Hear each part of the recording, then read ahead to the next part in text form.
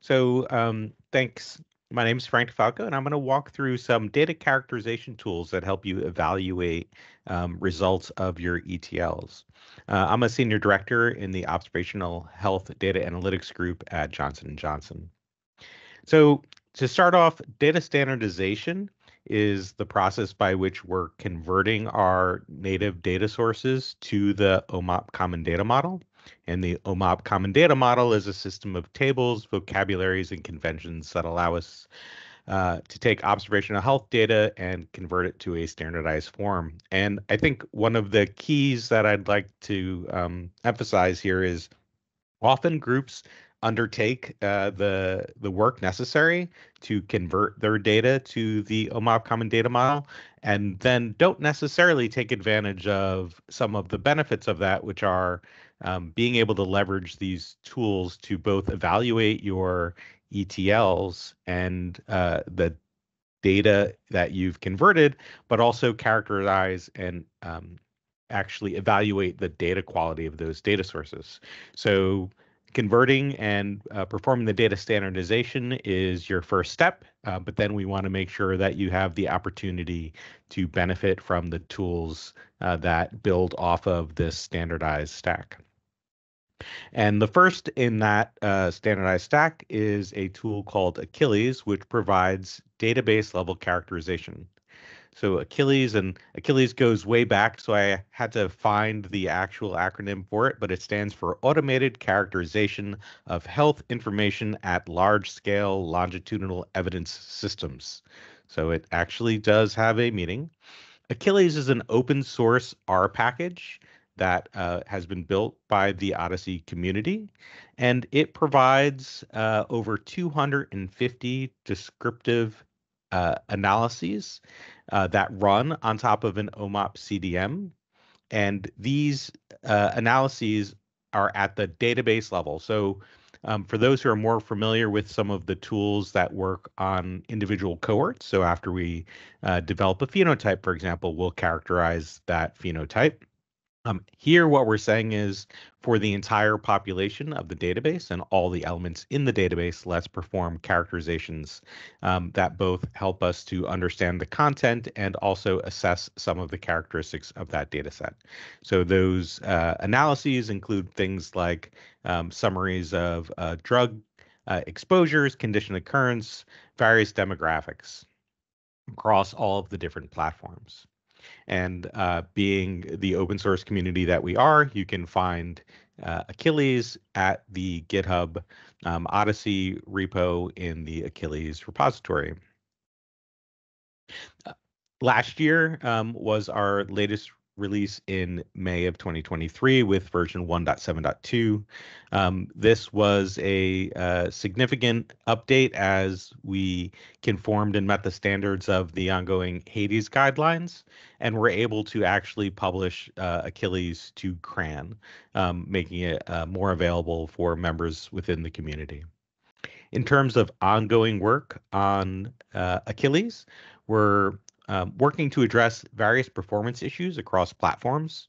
As uh, most people are familiar, uh, the the community has their data in a variety of relational database management systems. And so as we identify performance issues in one, we try and provide um, the standardized analyses in ways that work best across all the platforms while not necessarily being specialized to any one of them. So it's a significant challenge, and we're continuing to work uh, to address those issues.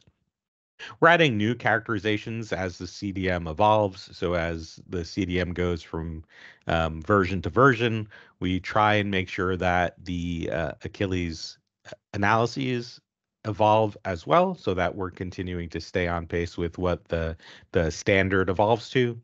Um, in the in the longer term, we're planning a 2.0 release um, with some refactored uh, performance logging, where we've seen some um, issues uh, recently, as well as incremental modes, so that um, your Achilles runs when they they take a long time and they fail. We want to make sure that things are a little bit more fault tolerant, and you don't necessarily have to restart and rerun um, pieces of uh, Achilles that you've already completed.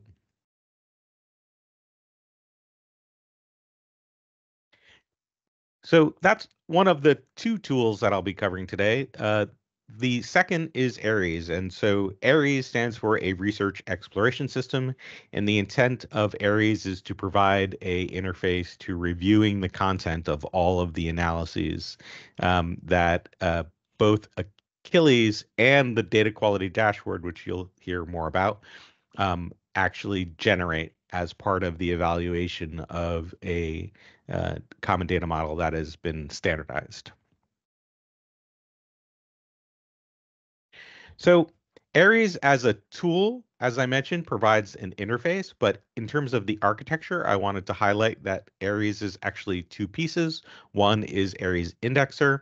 This is an R package that summarizes and indexes the results from Achilles and DQD so they can be presented in the ARES interface. And the other is the ARES um, web application itself, which provides that um, web interface. For some who've been around the community a while, you may be familiar with what used to be called Achilles Web. Achilles Web was an interface that was written over a decade ago that provided an interface to just um, the Achilles results. ARES is providing uh, an upgrade to that experience so that you have an uh, integrated uh, platform where you can review both the Achilles results and the data quality dashboard results. Additionally, whereas the Achilles web platform only was able to show you um, results from the latest version of any um, conversion of your data into the CDM, ARES actually gives you the ability to track um, multiple versions or releases, as we call them, of any data source over time. Uh, and in terms of um, evaluating your ETL, this is very helpful because you're able to see how your data set actually changes from one release to the next. So uh, let's jump over and I'll do a quick demo of ARES. Um, probably the most important, uh, given that this uh, the the white tends to burn my eyes, um, is uh, ARES does does have a dark mode, so you can uh, switch into that from the settings menu. ARES views the world in terms of three layers. The first is the overall data network. The second is the data source, and the third is a data source release. So if I start at this overall data network level, you'll see here at the top that we have a category of reports for network, source, and release. And then the report menu will give you the options of what you can view for uh, each of those three levels. So I'm going to start here by just reviewing this network overview. You could see that it will provide you a listing of the number of data sources, how many overall people are categorized, data quality issues that have been identified, and the number of releases. So here you'll see uh, in our environment, we have over 221 individual releases of 27 data sources. That's in, in aggregate um, as well as the, the data quality issues that have been identified.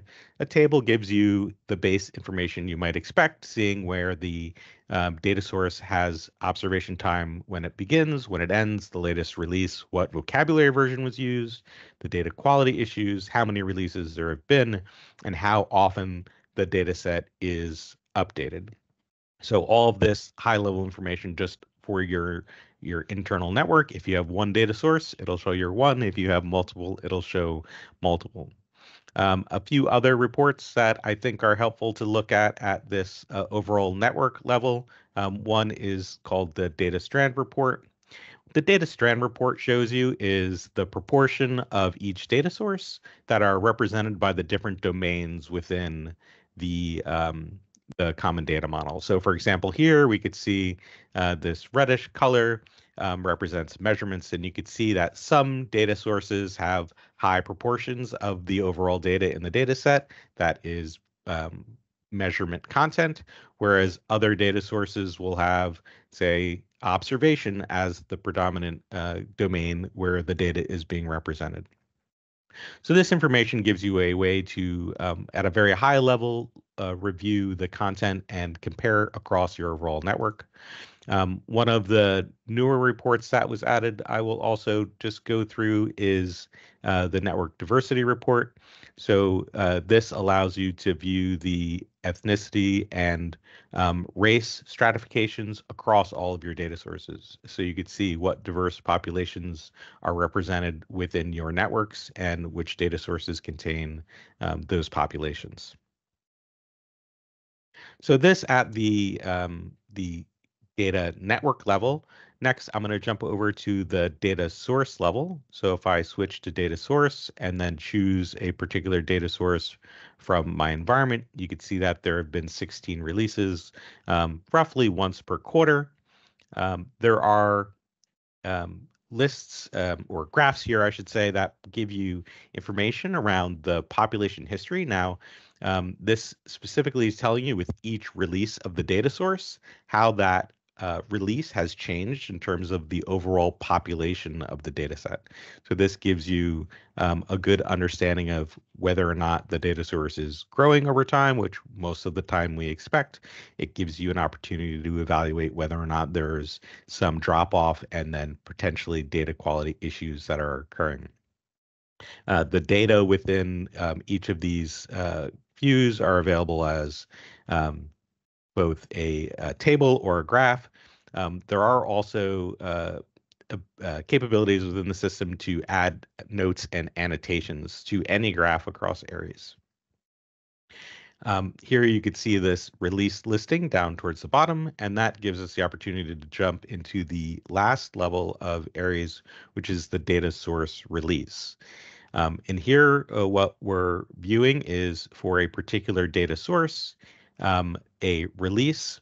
You could see here that you could choose from all of the releases that have ever been published to our environment to review how that data source existed in that point in time and then um, the various reports that are available. There are over a dozen reports available currently at this data source release level. Here we're looking at the person report, which gives you a high level view of the number of people, the proportion by sex, the population stratification by age and sex, age at first observation, population by race, population by year of birth, ethnicity, and so on.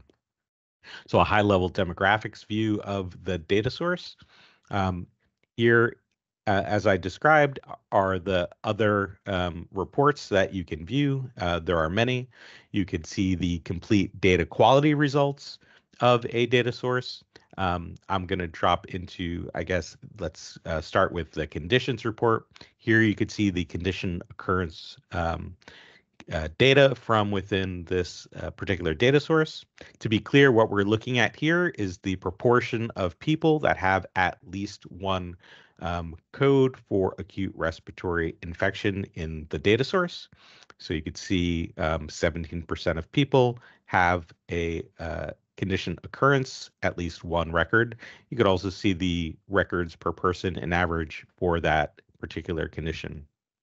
You could search the table to look up particular concept IDs or concepts uh, that you are interested in. There are uh, other columns that give you the pure numbers and deltas so you could compare to prior versions of the data source. Clicking on any one of the individual conditions in this table gives you a, a complete breakdown of the particular condition. So you can see here we have the concept ID, the number of people, the percent of people, the records per person, age at first diagnosis for acute respiratory infection, conditions by type tells you a little bit about the provenance of the data, whether it's coming from claims, inpatient, outpatient, or derived through some pharmacy. You can see record count proportions over time per month. Here we see a relatively seasonal pattern for uh, respiratory infections. And then finally, stratifications by um, age, sex, and year across uh, these different age deciles.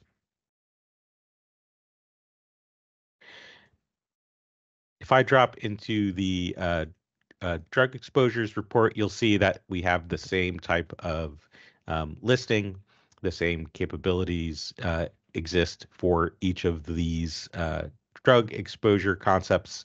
So you could go and see age at first exposure, the type of drugs, Um, you'll also see that there is some context-specific reporting that occurs. For example, here um, with the drug exposure, we could see days supply and quantity, things that you wouldn't necessarily want to characterize for a condition occurrence.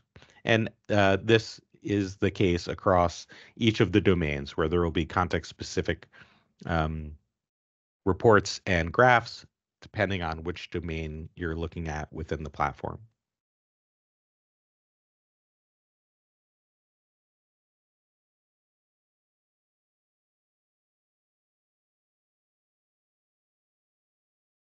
In terms of ongoing development, um, what you'll see uh, in the well, what I just demonstrated is actually in the develop branch of the uh, ARES platform. So it represents a, a, substantial UI refactor that's been completed, as well as support for DuckDB um, based on some issues that sites were seeing with um, what we call a small file problem, which I could describe offline if anybody really wants to have that conversation. It's lots of fun. Um, we're adding additional reporting, and there are capabilities um, for the ARES platform to integrate with the um, web API. And of course, um, what presentation would be complete without a request to join the journey. So if you're a, a developer or uh, an ETL or, or um, merely anyone in the OHDSI community who'd like to contribute, or to be involved, um, you can view the repositories on GitHub for both ARES uh, and Achilles. Feel free to join the conversation uh, on those platforms. Great, thank you, Frank. Uh, I mentioned in the chat, we should have time, I believe, at the end of, after Katy's uh, presentation. I don't want to do it right now. I want to make sure everyone has uh, maximum time but we should have time uh, for questions for any of the tools being discussed. Uh, so you can put them in the chat, but but we can do some Q and A as well. On that note, I'm going to turn it over to Katy for a product uh, for a presentation on the data quality dashboard. Yes, great. Can you all see my slides? Yes, I can. Wonderful. Uh, okay, so my name is Katy Sadowski, and I'm on the real world evidence team at Boehringer Ingelheim. I'm also the maintainer of the data quality dashboard tool, uh, which I will be introducing to you all today. Uh, so to set the scene, what is data quality? Um, in OHDSI, we define data quality as the state of completeness, validity, consistency, timeliness, and accuracy that makes data appropriate for a specific use. So for any given data use case, there's a level of each of these parameters that will allow us to consider a data set to be of sufficient quality to help us accomplish our goal, whatever that is. And so when we measure data quality, we're essentially measuring the fidelity of a data set to the true patient experience, the full story of everything that happened in each patient's healthcare journey. And this fidelity can be compromised in two major ways. The first is when the data is originally recorded in whatever source system we're getting our data from. So patient information is being entered or streamed into an EHR, a claims being filed for a procedure, a case report form is filled out, there's a big gap between everything that actually happened to the patient and what ends up in these systems. And the second major source of data quality issues arises when that data is extracted from the source system for secondary use. Um, so ultimately, in the case of OHDSI, this data is ending up in our OMOP CDM. Uh, the second arrow here actually represents a lot of different transformations. So in the case of an EHR, for example, the data is going into like the EHR backend database. Then it's being exported into some sort of raw export format. Then it's being transferred to a centralized warehouse where it's cleaned and processed in various ways. Maybe it's de-identified. Then it's being sent to users or customers who finally are doing their OMOP ETL and generating an OMOP CDM. So you could see this data is moving through a lot of a lot of different transformations. A lot could go wrong. When a lot of people think about data quality, though, I think they're really talking about this uh, first type of data quality. EHR data is a mess. It's full of data entry errors. Our institution's EHR is missing the full picture for each patient since we only have interactions with our healthcare system. Claims data is missing lab results. Claims are full of upcoding and false diagnoses. Um, so I could go on and on. These are all valid data quality issues, but it's only one piece of the picture. Um, and it's important we don't forget all of the things that can and do go wrong after the data leaves our original home. This is especially true in OHDSI, where we're all performing the super complicated ETL into OMOP, which is the topic of our presentations today. Um, so the whole premise of OHDSI is we're all using the same data model and we can assume certain things about how to interact with the CDM. But if our ETL is done incorrectly, those assumptions are going to fail. So not only are we corrupting our data's fidelity to this true patient experience, we're also leading analysts astray who are expecting the data to comply with the OMOP spec. So in my opinion, we can't even think about that first type of data quality until we know we haven't caused any problems by messing with the data in our ETL. Um, the improved documentation we're developing this month in the Olympians Collabathon, I think is going to be hugely helpful in providing better guidance for ETL developers to make sure they're all approaching certain decisions in the same way. But it's also good to have some objective checks on the database itself to make sure that the output of the ETL, one, meets our expectations given what we know about the source data, and two, meets the expectations of our users who are expecting an OMOP CDM that complies with the spec. And thankfully, OHDSI provides a tool to do just that. That's the data quality dashboard. So the DQD is an R package that's designed to perch right on top of an OMOP CDM and run analyses on all those aspects of data quality I mentioned before, completeness, validity, consistency, etc. And it surfaces the results in a nice browser interface that lets you hone in on potential issues in your CDM. So we've got kind of a summary view here, and then a report that shows the results of a bunch of data quality checks that are run by the tool. And people use the DQD in two main ways. The first is ETL developers running the DQD as part of the process of developing and maintaining an OMOP ETL. They'll write a bunch of mapping code, run their pipeline, and then they'll run DQD to catch any mistakes that they might have made. Ah, the visit table's empty. There's duplicated patients in the person table. None of my measurements mapped. DQD is going to catch all of these sorts of things and help you drill down into what might have gone wrong. The other main user profile is a data analyst or researcher who's using an OMOP CDM and wants to understand what data quality issues might exist in that database. Now let's hope the ETL developer of that CDM also used DQD and already fixed the really critical issues caused by their bugs. But there are other types of issues that can't be addressed in the ETL. For example, 50% of conditions are missing a status. Well, the ETL developer confirmed that's expected because in all of those cases, maybe the conditions came from a field in the EHR that has no status associated with it. This is still important information for a data user who might have been planning to filter on condition status in their analysis. Seeing this data quality metric, they might change their mind about how to approach that. So the building block of DQD's analyses is called a data quality check. And we define a data quality check as an aggregated summary statistic that can be computed against a data set and to which a decision threshold can be applied to determine if the statistic meets expectations. Bit of a mouthful, uh, but I have some examples to clarify that a bit. Shout out to Claire and Andrew. I got these visuals from your symposium presentation from back in 2019, so they're still going strong. Um, so this check is one of our plausible value checks the number and percent of records with the value in the days supply field of the drug, drug exposure table less than zero. So here we're thinking there's probably something wrong if you got a negative days supply for your drug. And DQD actually has a bunch of checks just like this one on numeric value fields. Essentially, this check type is implemented as a parameterized SQL query into which we pass every possible combination of tables, fields, and numeric value fields where it's relevant.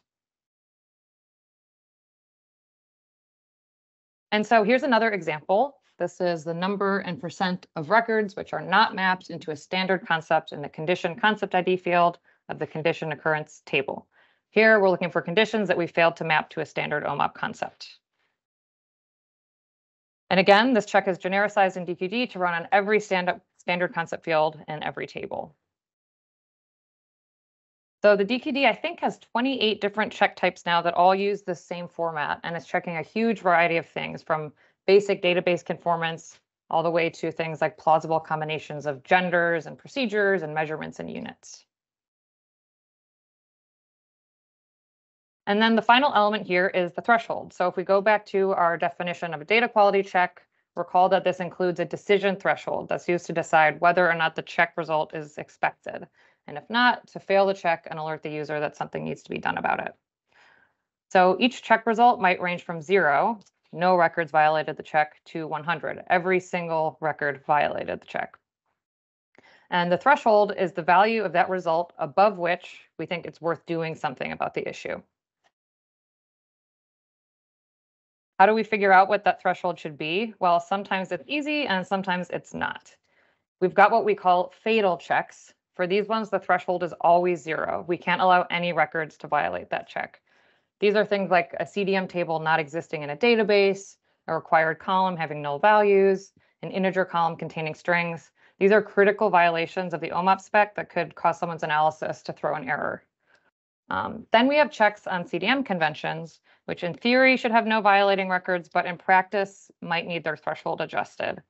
An example of this would be the standard concept checks. So ideally, we can map every single source code to a standard OMOP concept, but in reality, sometimes a standard concept just doesn't exist for a given code. So depending on what's in your data, you might need to allow some level of failure there. As you can tell from this example, running DQD is going to be an iterative process where you start off probably with more strict thresholds and then adjust as needed once you dig into the data. And then finally, we have what we call characterization checks. So these ones, basically the threshold always needs to be customized to your source data. For example, if you don't have any specimens in your source, set specimen completeness threshold to 100 or even turn off those checks altogether. Maybe we expect every single death record in a certain database to have a cause of death. In this case, we'd be setting our death source value completeness to zero. So those two scenarios are pretty simplistic, but you can imagine that figuring out the right threshold for a lot of metrics might actually depend on what you're planning to do with your data. This gets really complicated, and it's honestly outside the current scope of the DQD tool, but I think it's worth mentioning because really you should be thinking about this sort of thing when you get a DQD report. Um, so for example, Say we have a check on missing drug quantity. In some studies, you might not care about this at all. Maybe you're not even looking at drug data. But what if you need to identify patients receiving at or above a certain daily dose for which you need the quantity to calculate that dose? What percent of drug records are you okay with having a missing quantity? Above what rate of missingness might your analysis results be impacted? So, you know, think for a moment about all the different inputs that would go into answering this question. Depending on the study, it might get really complicated. So, like I just said, DQD can't answer this question for you, but I think it can at least point you in the right direction by flagging potential issues that might impact your analysis. And for now, it's just up to the user to dive in to the data and make that fitness for use determination. Time check. Okay, I've got a few minutes left. Perfect. Um, so that was the kind of overview of what we're doing with DQD. And now here's the really high level steps you can take to get started. Uh, so prerequisites, you need an OMOP CDM, and you need an R environment that's set up following the Hades instructions, which are linked on the slide. And I can also throw in the chat after the presentation. So then once you're set up with your environment, you're going to install and execute the DQD following instructions that we have on our documentation website. Um, so by default, DQD is going to apply preset, preset data quality check thresholds, um, which may or may not be relevant for your CDM like we discussed before. The recommendation usually is to just give it a run with the default thresholds and then you can iterate and configure those thresholds on your own. And we've got a specific documentation page describing how to do this. And then finally, I just wanted to mention what we've got cooking on the DQD development team. First, we are in the process of adding new documentation for every single check type that gives really detailed guidance on how to interpret check failures and what to do if a check fails. Um, and in here, you can see on this little GIF, we're providing guidance for both ETL developers and for data users. So this is something new, and we hope it's going to be really helpful for folks who might not know what to do when they receive that DQD report. Um, these are also on our DQD website, which I will link in the chat afterwards.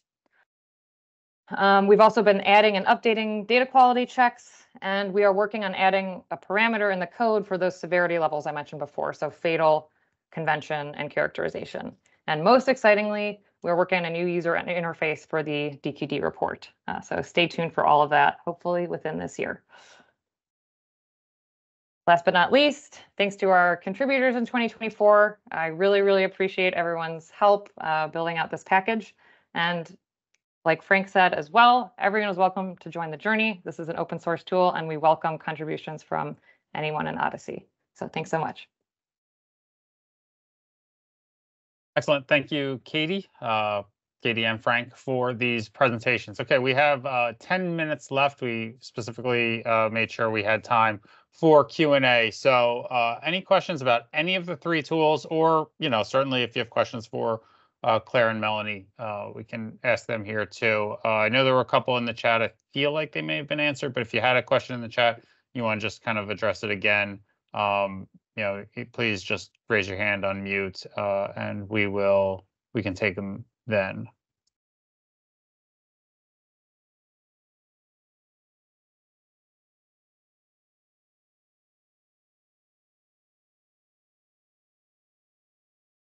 It's also possible that things were explained so clearly and so well that there are no questions.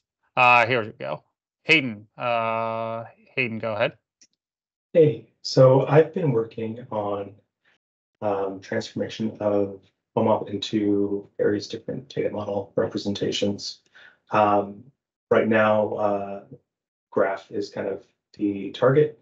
I'm wondering if, if either of you have seen efforts like that before or um, specifically with ETL, how that might go. Um, I've I, have seen a few things on the forums of people who have tried it before, um, but I, I don't really want to reinvent anything here. If, uh, if for example, um, Frank, you've seen kind of a, a efforts before, even in just a different format from relational data storage uh, to to a different kind of style.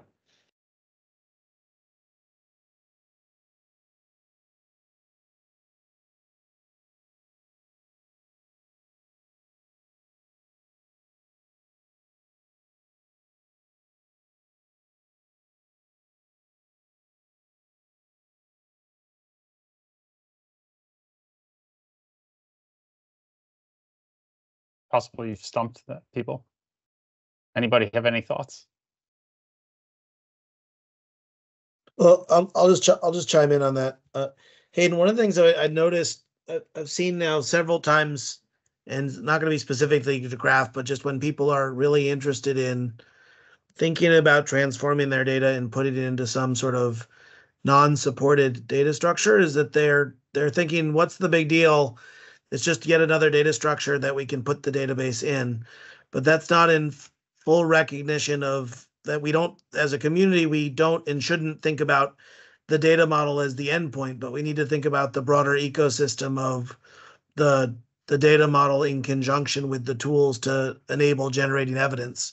And so oftentimes when we're in this situation where people are thinking about hey i'd really like to put my data in some sort of format that isn't supported it isn't just the data model work group it's not it's not Clair's fault that we don't provide a million different flavors of of DDLs for different data structures, but it's actually the broader community decision about how to try to identify sets of platforms that we are su- trying to support to accommodate everybody to be able to take advantage of the full stack. That's not to say that you can't have a database in some sort of other format, but it is to say that if you make that choice, then you're kind of going about it your own in terms of taking advantage of your standardized data to be able to participate in network studies or uh, execute any of the great tools that Katy and Frank are showing, or or expanding further even into the Hades packages, or or next week you'll hear about all of the great stuff that's happening like in the Darwin EU community, and all of that stuff's kind of predicated on some basic core stack. And so it's not to say that you can't go in a different direction, but it is to say that there's kind of a pur- purposeful reason why there's the the environments we support and why we can't um, extend that without substantial uh, effort as a broader community and that it's not just a, uh, a data model issue. Let, me, let me briefly rephrase something because I think specifically Katy might be able to answer this for me. Uh, Sure. Do we have any, um, I guess, performance measurements, less data, data quality, but more of, uh, actually, does the data quality dashboard have anything in its, uh, repository that's related to the actual performance of, uh, the, the data procedures or, or the analyses and, and more of the computation, less of the, the, the statistics. Uh, You mean like how long queries take to run? yeah, or their, um, their plans, those such Mm. things. They don't. I don't. Oh, go ahead, Frank. Yeah, they they don't have plans, but both Achilles and DQ do do capture the query durations for all of the queries that are run. And then we do use those to try and prioritize optimizations or work around uh, improving the performance of those queries against different platforms. And they do vary. Uh, and as we've seen people migrate to, to Spark based environments, we've seen some queries that fall over.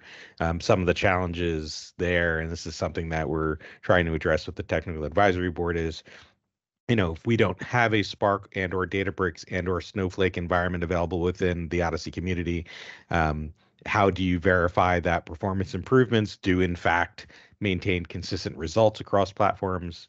Um, but uh, otherwise, in short, yes, those those types of uh, performance characterizations are captured by both of those platforms.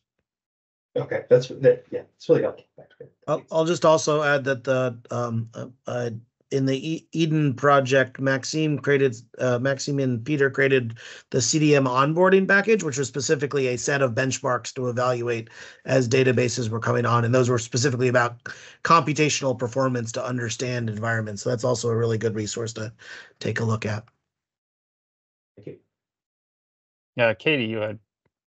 Yes, I have a question for Frank. So I was running Achilles recently and ended up having to dig into the SQL output, like all the different SQL queries it runs. And I noticed there were some queries in there which don't seem to, the results of which don't seem to be in the Atlas data sources report. There was things like number of patients with at least one measurement and at least one diagnosis or something like that. That seemed almost data quality-esque. Does ARES surface those? And if not, how could we actually get a report for them? Because some of them seem pretty useful. Yeah, so specifically for that query that you mentioned, um, number of people with with a record in a domain, that is used by the data source feasibility report within ARES. Um, so that tool allows you to do um, something similar to the other uh, data feasibility approaches to determine whether or not there, uh, a study is feasible, but um, it does it at a much uh, higher level um, and can't get as uh, specific or thorough as the work that Clair has done on the database profiler and, and feasibility packages. But those analyses are used um, within there. Uh, they could be exposed in, in other places, but for now, that is the, the primary reason. Um, actually, I'll, I'll mention within Achilles, there are a lot of analyses that are turned off by default. So there's a lot buried in there. For example, there's a ton of like cost analyses that are turned off by default. There's some co-occurrence analyses that are turned off. And those are turned off for two reasons. One, we've seen performance challenges across various sites and platforms with some of those. Um, and then also there is less utilization of them. So it's one of those situations where if you specifically want to make use of those analyses, you could go turn them on and, and take advantage of it. But otherwise, we found that by default, they're better uh, left off because it kind of fits the predominant use cases. Thanks. Uh, Jamie. Um, this is a question for Frank about Achilles and Ares. Are there any plans to include location-based analyses and location-based reports for data sources that include this information for users that to whom that is relevant? Yeah, in fact, there there is a thread somewhere. I forget if it's in one of the the uh, GitHub issues around adding GIS reporting into ARES um, for um, for characterization at that level. It's it's not there today. It is one of the planned pieces. Um, it has been a lower priority as uh, for for some of these data sources, the amount of location data that's available is either um, limited or obscured in ways that make it difficult. Also, I think it's something that um, there needs to be some coordination with the GIS working group so that um, we're we're adhering to some of the work that I know they've been doing over the over the past years to ensure that we're kind of adhering to the way we should be doing those characterizations. But it's not there today. Let's schedule something so we can have have you co- help coordinate that with us, and we'll we'll we'll Great. develop some objectives around that. That's great. Thank you. Uh, No, I, I I asked because I had some, some um, discussions with people in the process of ETLing their data to whom location information is very important. And as, as you know, Frank, the data that we use does not have a great deal of location-based granularity, but that's, you know, that's not everybody. Uh, Yeah, absolutely. Okay, we had a couple other hands up and then they just went down. I know we're at the top of the hour. I don't know if Frank and Katy had a couple of extra minutes they could stay. Um, but Paul, I know you had a question. Um. Mm, Um, might have- thank you. oh, I, I uh, think Christian might have too. Yeah, Paul and Christian. So, But I need to run. I need to run, guys. Very good. all right, Paul. yeah, uh, thank you. Um, yeah, so very quickly about um the, the graph um question. So Hayden, I believe, asked about graphs and their efficiency. I've been working with Neo4j. Uh, I, I work for Kaiser. I've been working with Neo4j. Obviously, they're trying to get more customers, but um, I kind of ran into an issue where uh, any almost every machine learning approach um, it's really difficult to deduce what the heck is going on in the background. So, like the logical even conceptual mapping of what the queries are, uh, specifically, like maybe I'm, I'm using Atlas and some of the descriptive analysis in the background is turned off for the data quality stuff. Um, but if I turn that on, I can maybe um, start to infer what the purpose of this data quality rules are versus just using graph machine learning outputs. It's it's I'm I'm gonna get nothing from that. The explainability component just completely disappears. I'm asking if uh, the the Atlas uh, tool or perhaps the GitHub repos uh, for ARES and Achilles are the best places to find logical and conceptual like um, documentation for uh, the data quality uh, processes that go on. So I don't know if it's exactly what you're looking for, Paul. Um, and I I just had this page up on the CDM website, and as I was doing some work for April Olympians, it, it disappeared. So I need to put it back. Um, but last year we worked on going across all of the major software, um, you know, all the major softwares in OHDSI and identifying which tables and fields are actually utilized by each software. So which ones are used by the uh, cohort building engine Circe, which ones are used by feature extraction, and so on and so forth, to uh, to uh, kind of expose those um, most important, you know, columns in the CDM depending on which software packages you want to use. Now, it doesn't necessarily get into the conceptual logic you're talking about, but at least gives you an idea of which pieces are being used in what packages. Would that be helpful? Yeah, absolutely. Uh, Even having the logical like what to look for instead of having the, the actual code is is, is a lot. It's a, Okay, yeah, so I um, I'll put it back and I'll send you a link to that because I had it and then it disappeared today. Um, so I'll put it back and, and send it.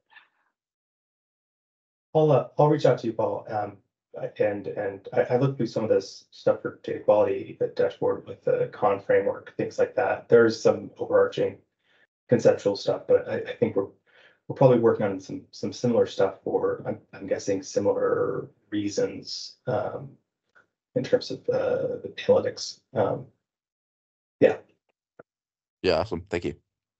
Thanks, everyone.